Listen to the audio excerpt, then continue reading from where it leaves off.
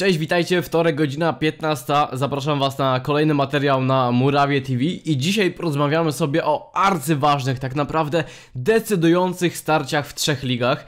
Liga Polska, pierwsza Liga Polska, Wigry kontra ŁKS, Liga Angielska, czyli Premier League Manchester United kontra Manchester City, wielkie derby Manchesteru, które prawdopodobnie przesądzą o Mistrzostwie Anglii, a także Ekstraklasa, szlagier derby Polski przez jednych uważanych, Lech Poznań kontra Legia Warszawa. Zanim przejdziemy do meritum, mam do Was jedno pytanie i prosiłbym, żebyście odpowiedzieli na nie w komentarzach. Pytanie brzmi, kto według Was zdobędzie Mistrzostwo Anglii? Liverpool czy Manchester City? Piszcie w komentarzach, a teraz zapraszam na materiał. Zaczynamy od najmniej medialnej ligi spośród tych trzech, które wam na samym początku przedstawiłem, mianowicie od pierwszej ligi polskiej, gdzie naprawdę się dzieje. Pierwsze miejsce Raków Częstochowa, który awans tak naprawdę ma już klepnięty, więc tutaj sprawa Rakowa jest przesądzona. Raków sezon 19-20 rozpocznie w Ekstraklasie i prawdopodobnie tak też się stanie z ŁKS-em. Z klubem, który od wielu lat spina się po tej drabince lig, by w końcu, by w końcu dojść do Ekstraklasy. Pamiętamy fatalny sezon w Ekstraklasie przed degradacją, kiedy jako Beniaminek od razu pożegnali się z naszą najwyższą klasą rozgrywkową w Polsce.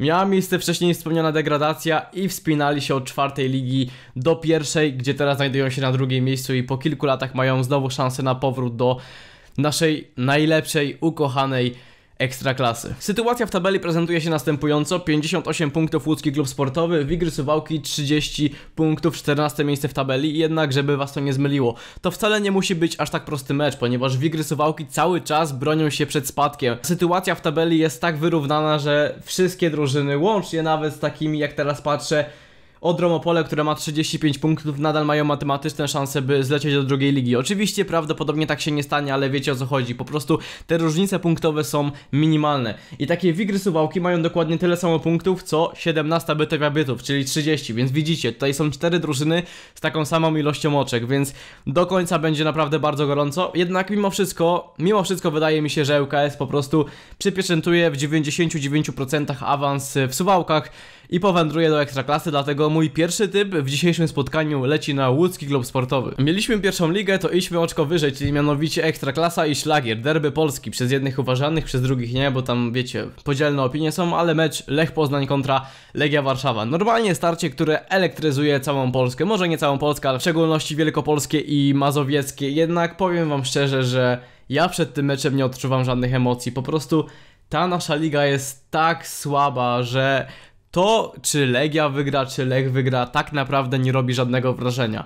Teraz pewnie zlecą się kibice obu drużyn i będą, jak to, czemu, przecież nasza drużyna musi wygrać. Ale prawda jest taka, że niezależnie od tego, kto zdobędzie Mistrzostwo Polski, czy to będzie Legia Warszawa, czy to będzie Lechia Gdańsk, tak czy siak odpadniemy w pierwszej bądź drugiej rundzie eliminacji do Ligi Mistrzów. I tak naprawdę na co się zda to Mistrzostwo Polskie, oprócz tego, że będziemy mogli pochwalić się na mediach społecznościowych czy wśród y, kolegów przy piwie, którzy są kibicami odwiecznych rywali, że nasza drużyna wygrała.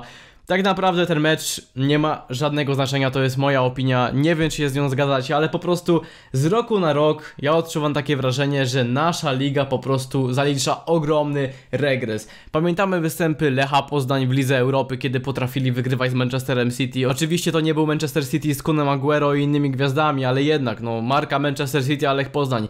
Pamiętamy Legię Warszawa, która nawet w tej ostatniej Lidze Mistrzów, w której uczestniczyła, potrafiła zająć trzecie miejsce w grupie. Mimo, że uważało się, że Legia będzie najgorszą drużyną w historii tych rozgrywek, to tak się nie okazało. Zajęli trzecie miejsce i tych emocji także troszeczkę przystworzyli. Jednak jak teraz patrzymy na te rozgrywki, to żadna drużyna nie ma podbicia do tamtych z poprzednich lat, więc ten mecz jak dla mnie całkowicie bez emocji. Jednak y, powiem wam tak, ja stawiam w tym meczu na to, że obie drużyny strzelą bramkę. Lech Poznań po trzech ostatnich nieudanych spotkaniach musi w końcu zapunktować, musi w końcu zapunktować, więc myślę, że nie wyjdą defensywnie ustawieni tak jak to miało miejsce w ostatnim meczu pomiędzy tymi drużynami, gdzie kolejorz wygrał 2 do 0. Wtedy jeszcze był Lech pod wodzą Nawałki, więc ta gra defensywna jako tako wyglądała przynajmniej w tamtym meczu i w szczególności było takie nastawienie, że panowie bronimy i wychodzimy z kontrą. Legia przede wszystkim kontrolowała tamto spotkanie, jednak nie o tym. Jeśli chodzi o Legię, to także oni walczą o Mistrzostwo Polski rok w rok. No jest takie kółeczko. Zwalniają trenera, potem zastępca i zdobywa Mistrzostwo, Liga Europy, tam Liga Mistrzów, odpadamy, kolejny trener przychodzi i kółeczko się toczy.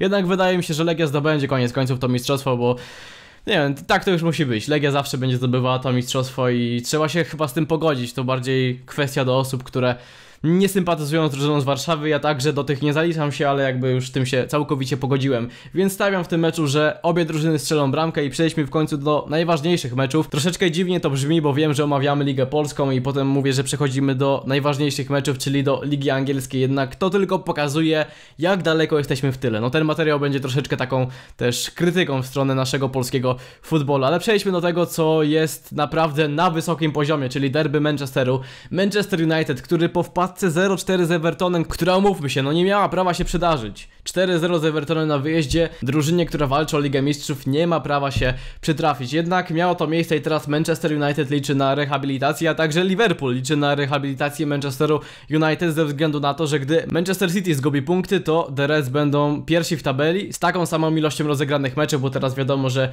The Reds znajdują się na czele stawki, ale mają jeden mecz więcej niż The Citizens. Sprawa wygląda tak, że faworytem oczywiście jest drużyna Pepa Guardioli. Tutaj bardzo dobrze podsumował to Jurgen Klopp, który powiedział, że nie mamy wpływu na to, co się wydarzy w derbach Manchesteru i wydaje mi się, że Manchester United także, więc to tylko pokazuje, jak Jurgen Klopp nie nastawia się na stratę punktów przez drużynę Manchesteru City, jednak wydaje mi się, że ta strata punktów nastąpi. Powód y, to są derby, to są po prostu derby, nie ma jakiegoś innego racjonalnego wytłumaczenia. Wydaje mi się, że Manchester United stanie na głowie, chociaż tutaj także mogą wejść inne smaczki, chociaż nie wiem, czy w ogóle w zagranicznych ligach takie coś ma miejsce, że wiecie, że Manchester United bardziej nie lubi Liverpoolu, więc przegra specjalnie City, żeby City zdobyło mistrza.